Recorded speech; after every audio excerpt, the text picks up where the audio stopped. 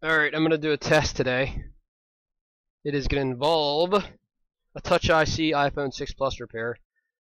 Um, so I think by now we all know that M1 right here, M1, the M1 pad is, if this is severed, um, the screen loses touch functionality. And uh, from what I understand, this this M1 right here pipes to this uh, six pronged guy right here. He's this guy right here, which um, the proximity sensor feeds into here, which turns the screen black and uh, disables the touch. Um, yeah, so M1 to this guy, proximity sensor turns touch off, and when this gets severed, we lose touch. But the question is, what gives us the gray bars? I have no idea. All I know is that these these two ground pads are oxidized. Sometimes these two, and then this ground pad is oxidized. So what I'm going to do today is, um, I, I like this one is PPV18, which is a 1.8 volt line that feeds to something related to the touch. But this the pad right below that is also a PP1V8, and I don't see these oxidized very, as often, that often. But even if this is oxidized, this should still be able to power whatever is needed, I believe, because they're connected, you know? So, um, unless uh, it's two separate circuits, which I don't think it is, because they are connected. So, um, this one right here is, I'm not sure what that is, actually. Uh, I think that's just another data line. Um, so maybe this plays a role in it as well.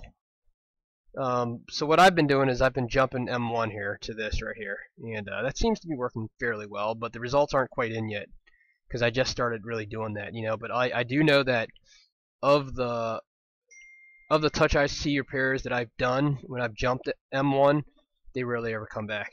I'm just saying.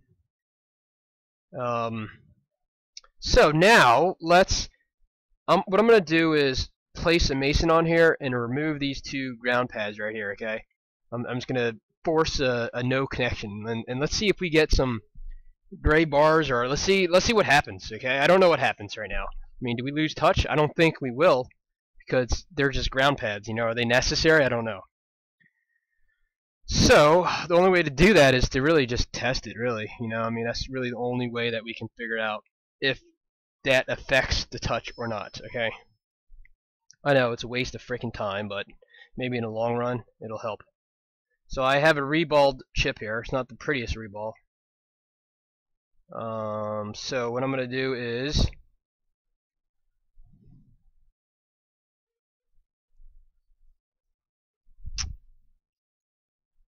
Yep, I'm doing this and showing you guys. So you guys, you guys don't have to waste your time right? Alright. This might take a little while because I uh, okay.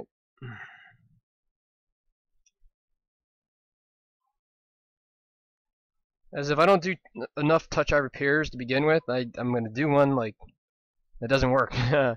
okay, so these two corner pads right here, I'm just going to remove them these two corner ground pads. These two right here. Okay, so those are the two ground pads right there. Okay, so I'm just going to use my uh, hot tweezers here and jab at them.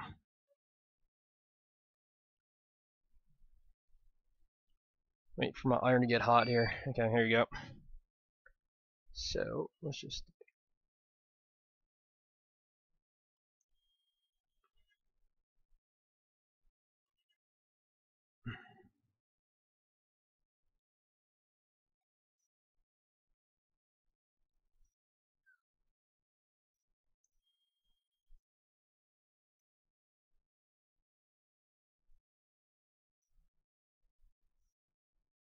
Is this even working? Let me put a little flux on there. Maybe I can get it off a little better.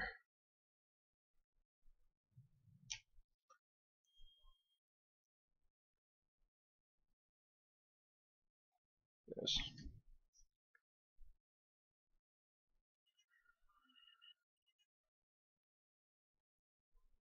Alright, there should be so little flux on there now, and I'm also going to wick those two pads right there, okay?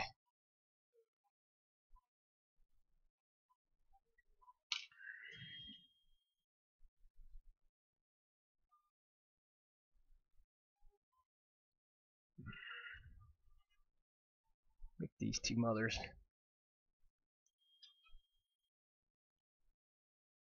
It's to wick them.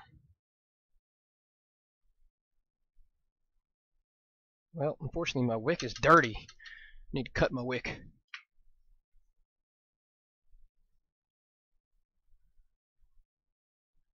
Alright. Come on.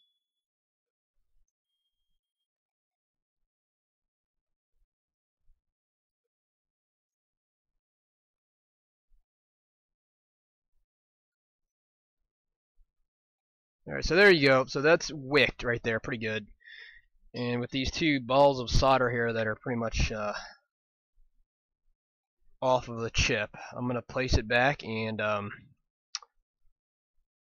I should, probably should have used a new chip because this reballed one is not very good. Anyways, let's see let's see what happened. Okay, I mean, hopefully that's not a variable in this. Because it's a little bit uneven, be honest with you. Like that, that, a little bit uneven. Kind of stupid. Should I just waste two chips and do it? I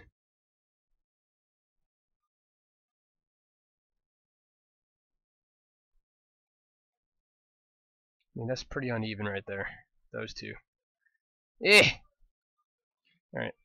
If I'm going to do it, I might as well do it right. So, right, I'm going to use my other chip here that I reballed, which is a little bit better. I was going to put this one on as the real one, but uh,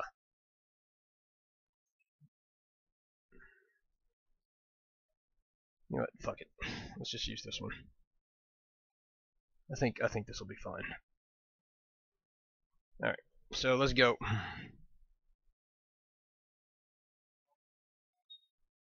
Probably should have used new chip.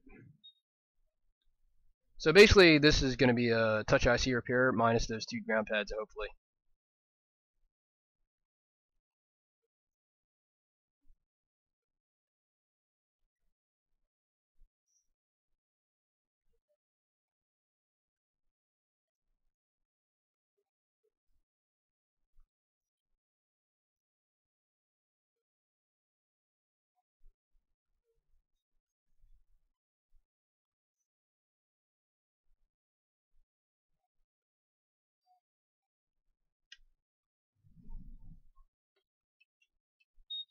Too hot.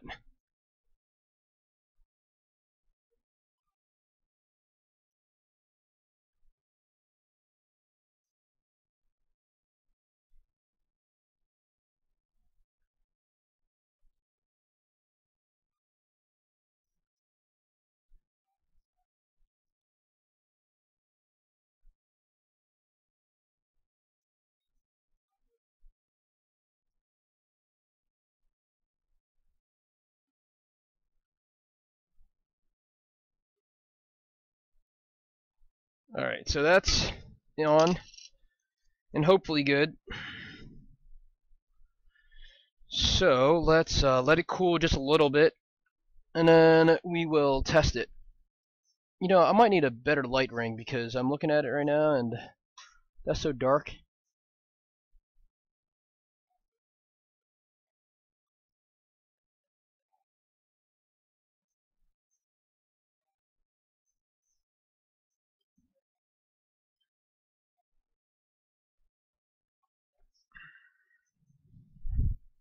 Okay. Um.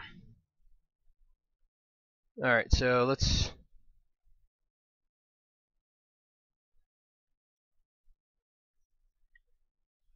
Alright, let's test it.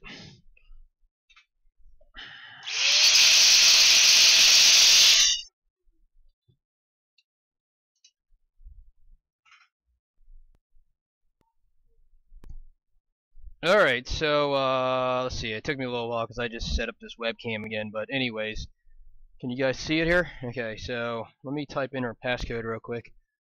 Mm -hmm. Okay. So, as you can see,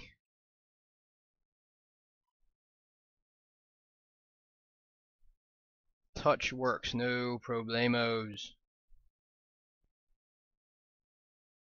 Okay, let's see if we can replicate the gray flickering, okay? Uh, I don't know if I'm going to get you guys to see it, but I'm just going to push down on it a little bit and see if we can get some sort of flickering.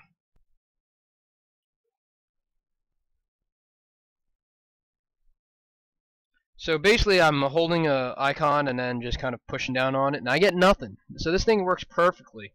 This thing works perfectly without those two ground pads. Alright, so those I'm never going to jump ever again, okay? Not necessary. Um, so I think that's it. I mean, the gray flickering is probably just M1 related. I mean, I, that's my guess. All right. Um, so I'm gonna I'm gonna redo this and uh, make sure those pads are grounded just in case, and uh, run run a jumper to M1, and then that's it really. So I think that's it. I, th I think uh, I think I'm gonna stop um, putting metal shields on. I'm going to stop putting metal shields on and just run jumpers uh, to M1, and and and that's it. Um, that's my touch IC repair. Okay. All right, there you go, guys.